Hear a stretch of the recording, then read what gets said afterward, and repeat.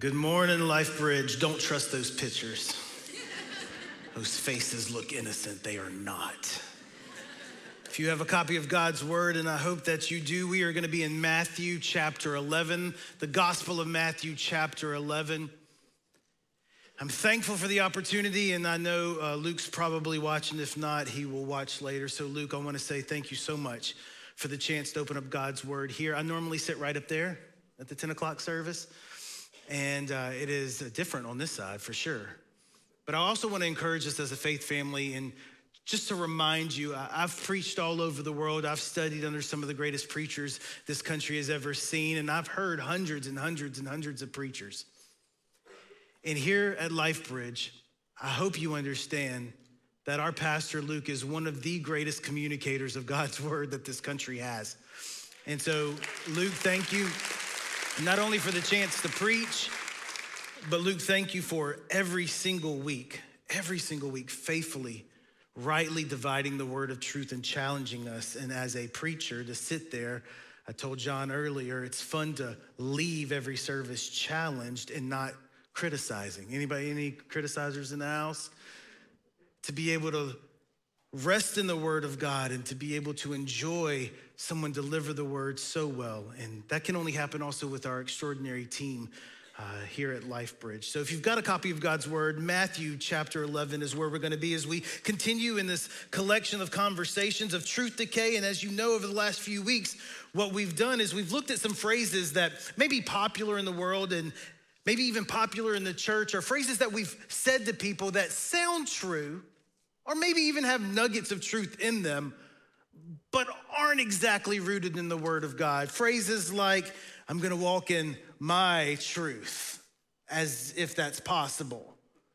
Or phrases that we've heard, things like, uh, I, I, don't know, if the more I get, you know, the, the wealthier I am or I can be. And phrases like, it's better to be safe than sorry. And phrases like, God will never, I love that one, right? God will never give you more than you can handle. Did you see that picture? Yes, He can. Every day, every single day. Currently, they're watching right now because my wife is delivering a baby and my sister's at home with my kids, and I have no idea what's going on. I'm very fearful at the moment that I won't have a house to come back to. So, guys, listen. Last week, I was so challenged when Luke brought us to Hebrews chapter 12 and this idea that I don't know if it's inspired by you know 21st century philosopher Kelly Clarkson or the 19th century German philosopher Friedrich Nietzsche. Uh, but what doesn't kill you makes you stronger. And sometimes in, in Luke encouraged us that, that we don't think about that anymore, that our society and our world, it really is, we can never talk about having weaknesses whatsoever, and how the call of Jesus Christ is to persevere. And that even as we're following hard after Jesus with a great cloud of witnesses to throw off sin that so easily constrains us, any kind of distraction that we have. And Luke challenged us with the thought that discipline that comes from the Lord is not a bad thing because we're children of God. And while discipline may hurt, it's never intended to harm. Like physical therapy on any part of the body, hurt is part of the process of healing. And this morning, I want to challenge us looking at this passage in Matthew chapter 11, not when sin may creep into our lives, but this thought, this statement that's been made that you probably hear, and you can say it after me when we get done. Are you ready? Here we go. Whenever God closes the door, He always opens a window. And in some regards, friends, we know this. We use that phrase as an encouragement when some things don't work out and we know God is good and another opportunity may come. But here's my question for you What if the door never opens again? What happens when there is no window? And what good is a window if I need a door? What will we do when life doesn't really work out the way that we thought it was going to work out? Is there anybody in this room who understands what I'm saying? In Matthew chapter 11, we come across John the Baptist, not because he wasn't Presbyterian, but because he was the baptizer. And in Matthew chapter 11, starting in verse 1, read along with me, not out loud, because that gets confusing. Here we go. When Jesus had finished instructing his 12 disciples, he went on from there to teach and to preach in their cities. Now, when John heard while he was in prison about the deeds of the Christ, he sent word by his own disciples and said to him, This is John's disciples to Jesus, Are you the one who is to come? Or shall we look for another one? And Jesus answered these disciples to take this message back to John Go and tell John what you hear and what you see. The blind receive their sight, and the lame walk. The lepers are cleansed, and the deaf hear, and the dead are raised, and the poor have the good news preached to them. And one of the most intriguing statements that Jesus has ever made, that's boggled my mind for years. The last thing that Jesus ever says to John he says, Blessed is the one who is not offended by me. Uh, okay. what? Jesus, I asked a simple yes no question Are you the one? Have I wasted my whole life? Are you the one or is there another? Have I missed it? And Jesus said, Blessed is the one who is not offended by me. Let's pray together. Father, we love you so much. Thank you for this opportunity to be in your word. God, I thank you for this faith family. I thank you for our pastors, our elders, our staff. I thank you for every volunteer who is helping with our kids' ministry, student ministry. God, what an awesome place, what an awesome time to be here at Lifebridge. I thank you that you led my family here over a year ago to be a part of this place. And God, I pray even in this moment and in this morning that we have together that, that you remove me. Don't allow me to be a stumbling block to the truth of your word. God, work in our hearts like never before. God, help us Help us realize that even when life doesn't seem to work out the way that we thought it should, even when doubts and disappointments creep into the very essence of who we are, you are still a good God. And you are worthy to be worshiped. We praise you, we love you, we thank you in Jesus' name. Amen. Amen. On January 6, 2014 was one of the greatest days of my life. 6:15 in the morning and I am awoken, awakened, awoken, one of those things. My wife wakes me up. There we go. My wife wakes me up. Says four words that we have been waiting years to hear. I think I'm pregnant. And in the loving, compassionate, excited phrase of where I stay, state of mind where I'm at, I look at her and say, You are a world class physician. You are a board certified OBGYN. You are a professor of a medical school. How in the world can you say, I, I think I'm pregnant? This is kind of what you do for a living. What do you mean you think you're pregnant? And so after four tests, it confirmed we were pregnant. We were excited after several years of wrestling with infertility and prayers. In prayers, we said, Thank you, Jesus. But as often happens, and maybe some of you can understand in this room, just a few weeks later, this week, 10 years ago, after we were doing lots and lots of scans, because one of the beautiful parts of being married to an OB is that I can go and we can do ultrasounds anytime we want to. We heard four more words that our friend came and confirmed for us there is no heartbeat. And in that moment, after prayers and after praising God. There's no seminary degree that prepares you for the heartache, the gut punch that happens deep within your soul. And God whispered something to my broken spirit in that moment that I will never let go of. And in that moment, what I heard from the Lord was simply this Will you still worship me? And because, you know, uh, I'm super spiritual, I said, No. You, you've got to be kidding me. I would rip the heart out of my own chest and I would give it to them. How, God, after all these years of praying and following, do you give us this glimpse of hope and happiness and both my babies are gone?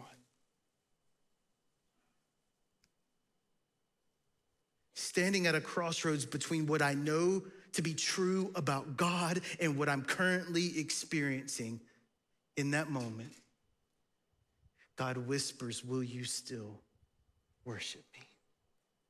For a decade, I've wrestled with that. I've often wondered what could happen. We've heard the phrase, and in those moments, well, God seems to have closed the door, but I want that door. God, shut a door, and even if there is a window, I, I want that door.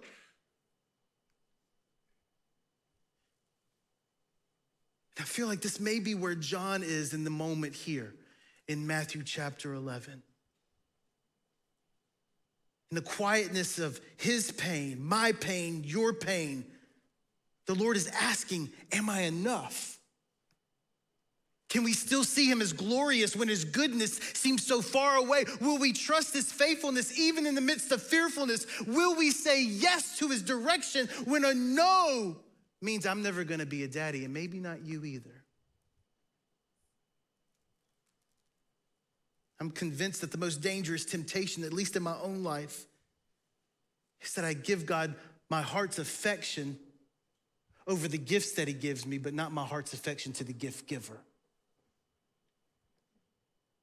And that more often, and I'm, I'm embarrassed to even admit that, that so often my own obedience is influenced about getting something from the Lord. But I'm so thankful that God's faithfulness to us is not dependent on our faithfulness to Him. So, my friends, here's the deal what do we do when the door never opens? What do we do when doubt and disappointment creeps to the every crevice of our life? What are we gonna do? And I love this about John because when you think about John's life, he sends a question that everybody was asking to Jesus Jesus, are you the one? Are you the Messiah? Are you the one that we've been waiting for? The shocking thing about the question is not that he asked it, it's the fact that John knows who Jesus is. We know this from the very beginning of John's life. Can I show this to you? Say yes, because I'm gonna do it anyway. Luke chapter one, we know all about John's life. John's mom and dad weren't able to have a baby. His dad, Zechariah, was a priest. His mother, Elizabeth, was barren. An angel came and visited them in, John, uh, in Luke chapter 1 and said, You're going to have a baby. And they're like, We old. It's also what I said. Y'all saw my kids, like, I'm old. And I got little ones. But that's the beauty of what we see here. John's life started as a miraculous birth. The Bible says in Luke chapter 1 that the, the, the angel spoke to Elizabeth and Zechariah and said, He's gonna be great in the sight of the Lord. He's gonna turn the hearts of the people back to God. And we know all the people in the community knew who John was and how miraculous his birth would be, how remarkable his ministry was gonna be. It says in Luke chapter 1, verse 65, fear came over all of the neighbors. And all these things were talked about through all the hill country of Judea. And all who heard them laid them up in their hearts, saying, What then will this child be? For the hand of the Lord was with them. Y'all, that's some pressure. Does anybody know what I'm talking about? The entire community knows that you're a, a miracle in your birth. The entire community knows, not just your parents, that God has this tremendous ministry for you. But here you are sitting in prison asking, What in the world happened? But it's not just the community, it's not just the, the, the, parents of John. John knows exactly who he is and what he was born to do. He says this repeatedly in the Word of God in John chapter 1. John says this. Some religious leaders came to him and said, Who are you? You've been out here preaching, wearing crazy stuff, eating crazy stuff, calling people brood of vipers. What's your deal? Are you the Messiah? And John says in John chapter 1, he says, I am not the Christ. And they asked him, Well, then what are you? Are you Elijah? He said, I'm not. Are you the prophet? And he said, No. And they said to him, Who are you so that we can tell those people who sent us? He said, I am a voice of the one crying in the wilderness, make straight the way of the Lord. He's quoting from Isaiah. John knows very clearly who he is and what he came to do. And do you remember in John chapter 3? He said the exact same thing. They came to him, it's like, whoa, whoa, whoa, who are you? What have you come to do? He said, I'm the one who came before the Messiah. I'm the one to make the path straight. And, and when I see the Messiah, my joy has been made full. And in John chapter 3, verse 30, you know, you remember this one? He says, I must decrease so that what? He must increase. John had a firm understanding of who he was and what his role was, and he knew who Jesus was and what Jesus came to do. Over and over, John was clear. John chapter 1, when Jesus walked by, do you remember what he said? Behold, the Lamb of God who takes away the sins of the world. Now, that may just kind of rush over your head like, okay, Lamb of the. That, it's a deeply, deeply theological statement. He's pointing that that man right there, that's the one we've waited for this whole time. That's the one that's going to bring us the freedom that we so long for. Behold the Lamb of God who takes away the sins of the world. But you know what I find fascinating in Luke chapter 1? We find one more thing. John knew this from a very early age who he was and who Jesus was. Do you remember what happened when Mary, the mother of Jesus, made her way to Elizabeth's house? She left her home, went to spend time with Elizabeth, and the Bible says she entered the house of Zechariah and greeted Elizabeth. When Elizabeth Mary heard Mary's greeting, the baby inside of her womb, you remember this? jumped, leaped.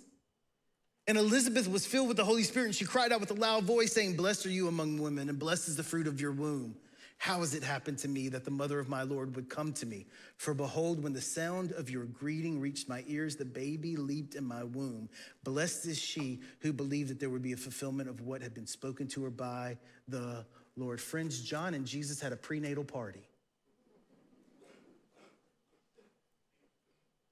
So here's my question What would cause a man who clearly knew from the very beginning of his life what his role was, what he came to do? What would cause a man who knew exactly who Jesus was and what Jesus came to do, who could point him out, who let his own followers follow Jesus and said, That's the Lamb of God who takes away the sins of the world. What would cause a man to be in prison and say, Are you the one? Can I offer this to you this morning?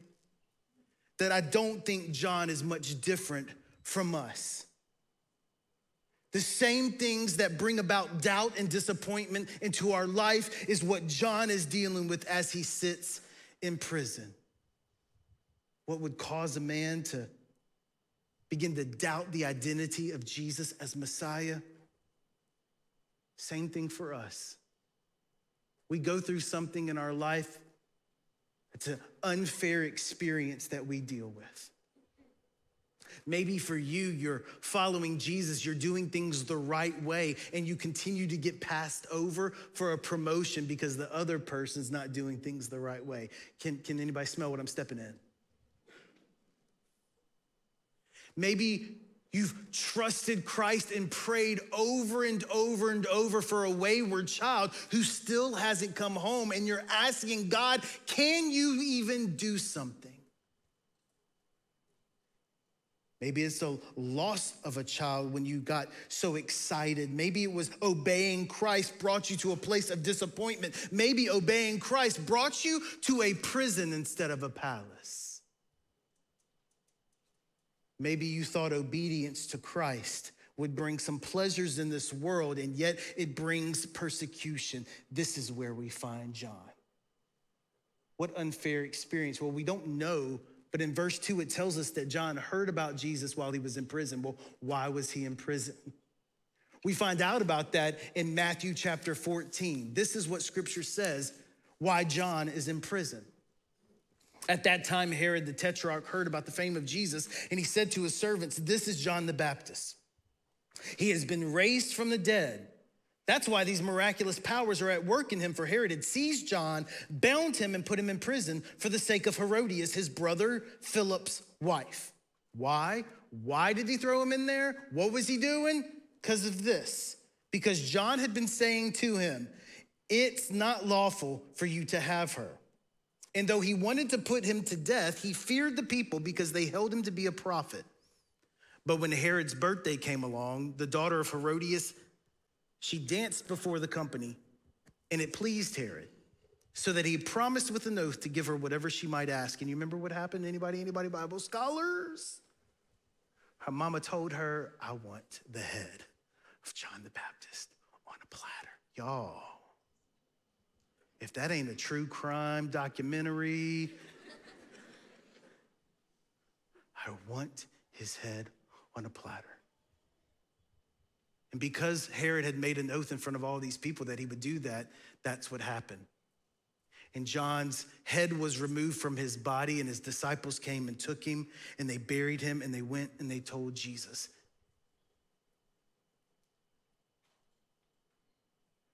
How can somebody who is so confident in who he is and what he came to do, and so confident about who Jesus is and what Jesus came to do, ask, Are you the one? Because doing what is right brought him to a place of persecution and prison. And I'm here to tell you, and maybe, maybe you've got it all figured out. But doubt and disappointment creeps into my life when I look around and go, God, God, why? Why can't you do that in my life? God, what did I do wrong?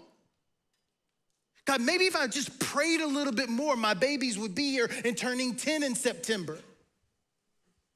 Maybe, maybe I didn't confess enough of my sins to you. God, what did I do wrong? Why is the door not open? And maybe you don't struggle with that. But if you live long enough following Jesus, you're gonna come across some unfair experiences in your life, and it's gonna be a moment of doubt and disappointment. But it wasn't just doubt and disappointment from an unfair experience. John also had an unfulfilled expectation of what Jesus was to do. If you think about it, after 400 years of silence, here's this man coming out of the wilderness and he's preaching and he's pointing people to the Messiah. This is the guy. But the common understanding of what the Messiah was going to do for the people of Israel was not come in and say, I came to be a servant and not be served. The overwhelming understanding of most of the people in the first century of who the Messiah would be was somebody who's gonna come in with military force and he's just gonna ransack all of, uh, uh, of the Roman Empire and be able to say to them, This is not it. There will be freedom. These are the passages that the Messiah has spoken about throughout Scripture. We know this, we've seen this over and over and over. The Bible tells us in Isaiah chapter 29, in that day, this is what's gonna happen. The meek shall obtain fresh joy in the Lord, and the poor among mankind shall exult in the Holy One of Israel. For the ruthless shall come to nothing, and the scoffer will cease, and all who watch to do evil, they will be cut off. That's what the Messiah is gonna do. Isaiah chapter 35 says, Behold, your God will come with vengeance and he's gonna save you. Isaiah 61, the very passage that Jesus quotes that the Spirit of God is upon me. Because the Lord has anointed me to bring good news to the poor, and he has sent me to bind up the brokenhearted. Goes on to say this that the, the, the Messiah will proclaim liberty to the captives and the opening of the prison to those who are bound to proclaim the year of the Lord's favor and the day of vengeance of our God. Hallelujah. Let's go. You know that's what John's thinking. Are you the Messiah? Because if you are the Messiah, why have you not set the captive free? Plus, we're related. Why haven't you done for me what I expect you to do?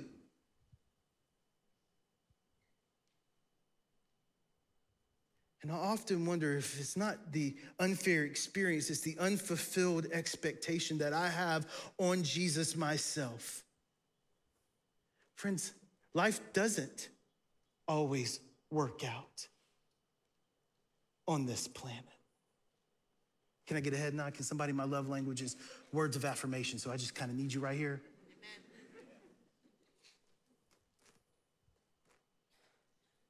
Sometimes the doors don't open. Sometimes the windows never crack open.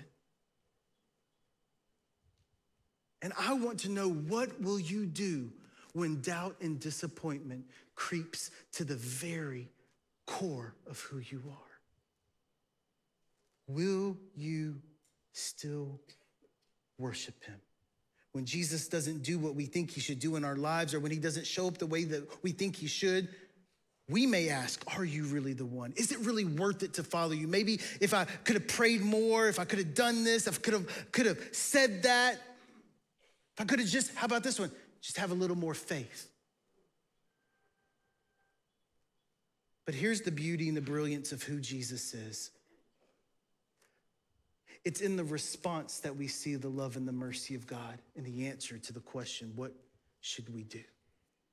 Matthew chapter 11, verse 2. I don't want us to overlook this. What do we do in these moments of doubt and disappointment?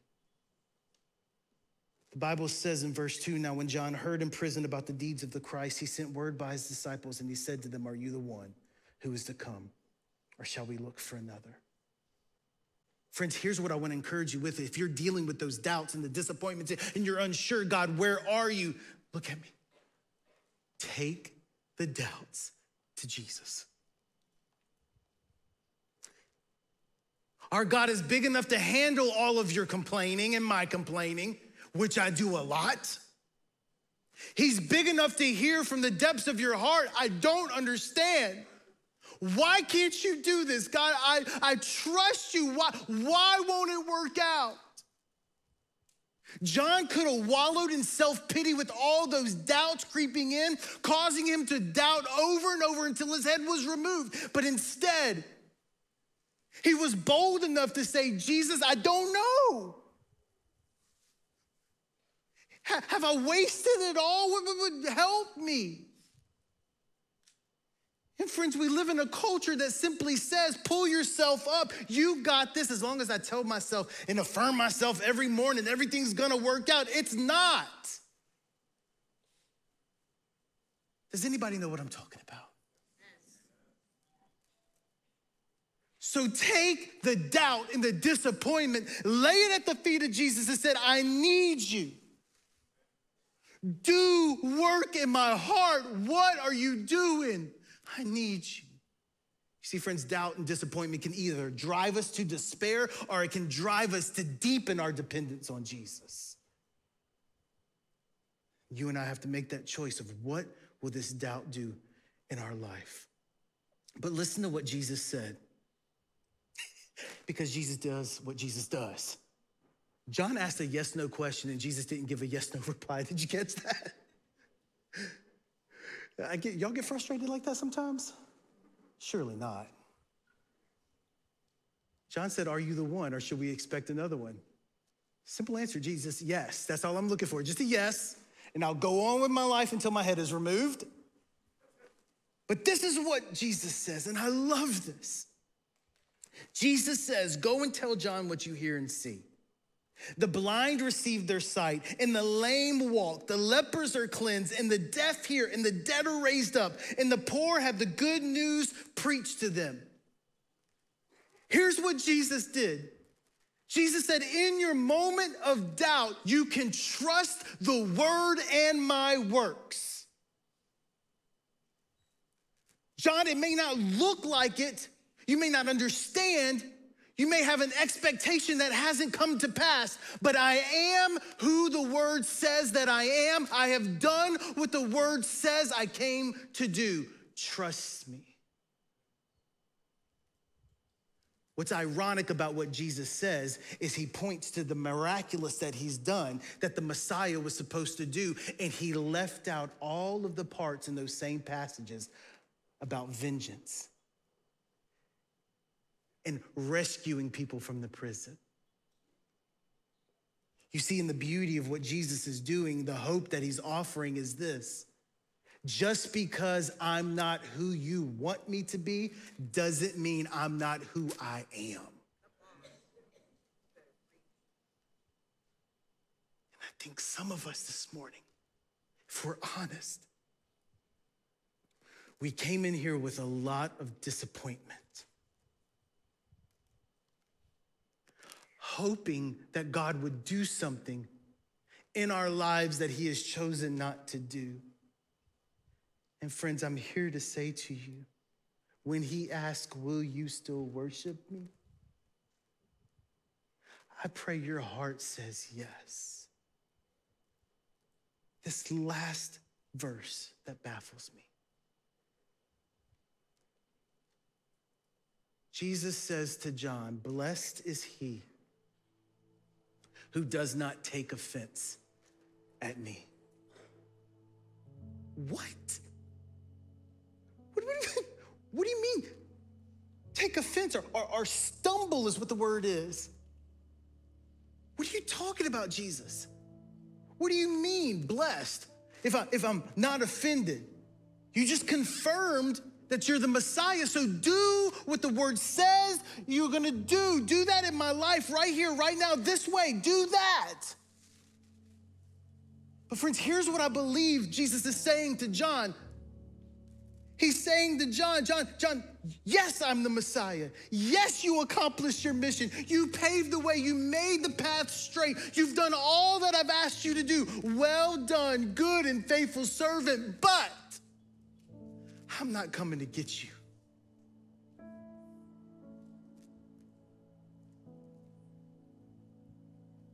And friends, this is where the sovereignty of the Almighty rubs against the sensibilities of humanity. We want the perfect ending for John. He's the faithful servant. We want him to be saved from destruction. We want Jesus to kick down the prison doors and run out with him, and everybody celebrates and the curtain closes. But sometimes the doors don't open. And I want to ask you we want our babies back. We want our jobs back. We want our loved ones back. We want the sicknesses to end. We want the pain to end. We just want Him to fix it. Fix it now. And as you cry out to Jesus, He whispers softly, I'm not changing this circumstance right now.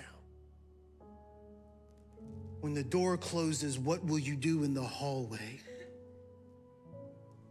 And my prayer is that all of us walking through difficult times will allow our doubts and our disappointments drive us to deeper dependence upon Jesus. When Jesus says no, will you still say yes? He's not only worthy of our worship, he is worthy of following him, even if it's not a palace and it's a prison. Even if it's not being lifted up and my head is up or having my head lifted off my body, he is worthy of our worship seasons of sorrow and the seasons of grace intertwine. That Christ meets us at every single turn. And so I beg you this morning. Sometimes he doesn't open a door. Sometimes the window stays shut. but he's still the Messiah. He's still good.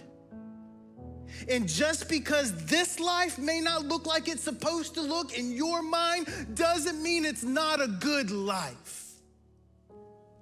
Because wherever Jesus is and lives and reigns, there is goodness. I don't know where that strikes you. A day, a, a day doesn't go by, I don't think about what those twins would look like. Would they look like my wife with her curly hair, which is what I pray for? Would they be smart like their mama and not hyper dramatic like their dad?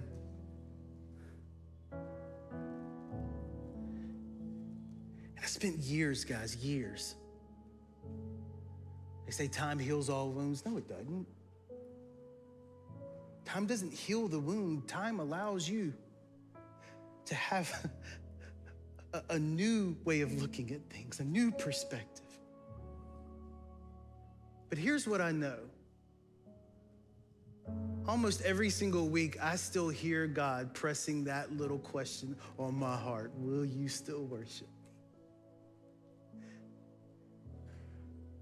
When you're a stay at home dad now of four children between the ages of seven and four, and they're stair stepped on Friday, seven, six, five, and four.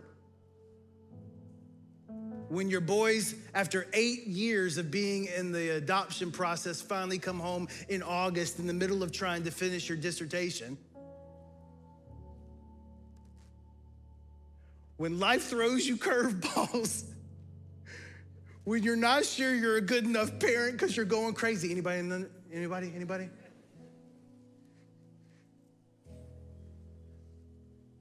Will you still worship him? Take your doubt to Jesus. Trust his word and turn to him. He's good. Let's pray. God, we love you.